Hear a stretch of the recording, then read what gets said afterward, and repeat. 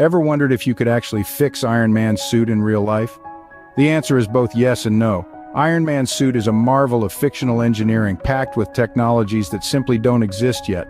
Repulsor rays, unibeam projectors, and an AI assistant named Jarvis? We're not quite there, but what about the rest?